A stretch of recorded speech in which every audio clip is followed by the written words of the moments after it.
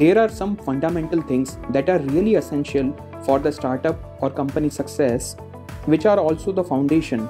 And these are the things that investors also evaluate. However, these things are also important for the company stakeholders and founders to take into consideration while building their products and services.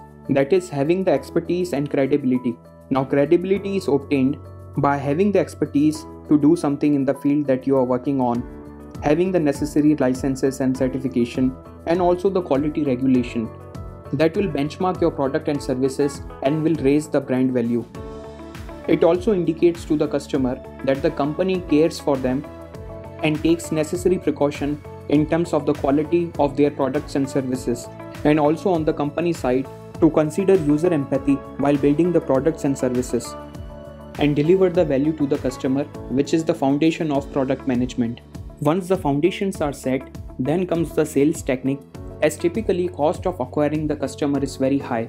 That's why having the existing loyal customer is really important in terms of referrals that they can provide and also the sales techniques such as upselling and cross-selling to the existing customers can boost companies revenue by increasing the average order value. Upselling is a sales technique that encourage customers to buy higher end of the version.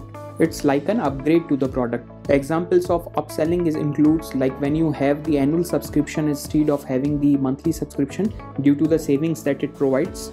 Similarly, cross-selling is a sales technique that promotes accessories and other related product to the original product that customer intended to buy. Example of cross-selling is when you buy a laptop, you are also shown the accessories that you can buy along, such as mouse, keyboard, etc. Both cross-selling and upselling increase the customer lifetime value and boost the company's revenue. Also, it makes the customers happy as they get the added value or savings of their purchase. The important characteristics or qualities of a founder that investors look before investing is having the confidence, determination, and positive attitude to make their company success. It shows the passion that entrepreneurs have in achieving their dreams, irrespective of all the obstacles that they have to accomplish their goals as these qualities are really important for anyone to do big in their life.